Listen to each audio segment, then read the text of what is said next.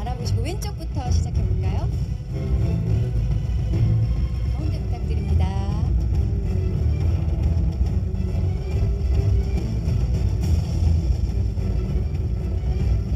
네, 우측 한번 바라봐 주시죠.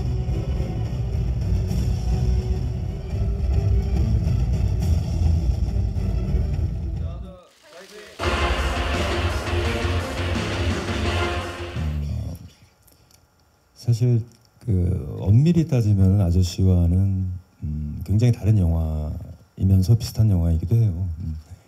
어, 왜냐하면 같은 감독님께서 만드셨고 또 그 영화에 흐르는 어떤 정서는 사실 비슷하다는 걸 부정할 수는 없거든요. 근데 어떤 이야기나 그 주인공의 어떤 삶과 캐릭터가 확연하게 다르고 또 영화 외적으로는 어떤 액션 컨셉에 있어서도 굉장히 다른 스타일이기도 하고요.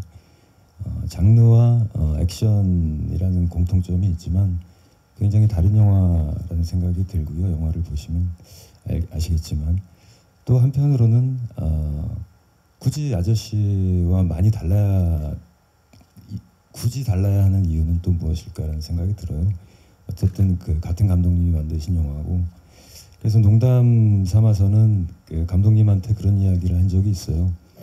어, 그 아저씨 우는 남자 했으니까 다음 편 3부작으로 어, 원빈 씨랑 같이 우는 아저씨 한번 하면 어떠냐. 그래서 지금 심각하게 고민 중이세요. 아, 정말 기대가 되네요. 장동건, 원빈 주연의 우는 아저씨. 예.